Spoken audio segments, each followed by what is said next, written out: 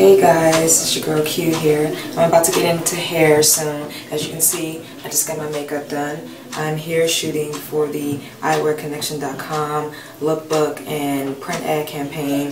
I'm really excited. I just tried on one of the shades I'm going to be wearing today. Um, we're going to be doing three shots total. Um, sorry, three shades total, three pairs of shades. I'm really excited about it. I'm going to rock it out. I'm going to make sure um, I get some footage for the shoot so you guys can see me work, do my thing. So um, I'm about to get into hair in a little bit. So I will see you guys in a bit.